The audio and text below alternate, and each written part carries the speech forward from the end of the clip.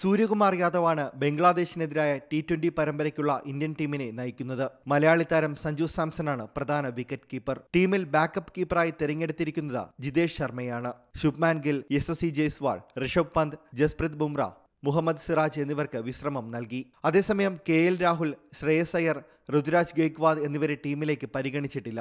October ആറിന് ഗോളിയോറിൽ വെച്ചാണ് പരമ്പരയിലെ ആദ്യ മത്സരം നടക്കുന്നത്. ഒൻപതിന് ന്യൂഡൽഹിയിലും പന്ത്രണ്ടിന് ഹൈദരാബാദിലും വെച്ച് മറ്റു മത്സരങ്ങളും നടക്കും. മത്സരത്തിൽ സഞ്ജു ഇന്ത്യയുടെ ഓപ്പണറായേക്കും അഭിഷേക് ശർമ്മയ്ക്കൊപ്പം സഞ്ജുവിനെ ഓപ്പണറായി കളിപ്പിക്കാനാണ് ടീം മാനേജ്മെന്റിന്റെ നീക്കമെന്നാണ് റിപ്പോർട്ട്. ശ്രീലങ്കയ്ക്കെതിരായ രണ്ടാം ടി ട്വന്റിയിൽ സഞ്ജു ഓപ്പണറായിരുന്നു. എന്നാൽ നേരിട്ട ആദ്യ പന്തിൽ തന്നെ പുറത്തായി. മൂന്നാം ടി ട്വന്റിയിൽ മൂന്നാമനായി ഇറങ്ങിയിട്ടും റൺസ് എടുക്കാതെയാണ് സഞ്ജു പുറത്തായത്.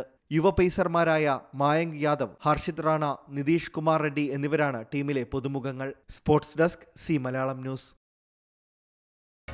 പുതിയ വാർത്തകളും വിശേഷങ്ങളും ഇനി വിരൽ തുമ്പിൽ എല്ലാ ഡിജിറ്റൽ പ്ലാറ്റ്ഫോമുകളിലും ഇപ്പോൾ സി മലയാളം ന്യൂസ് ലഭ്യം.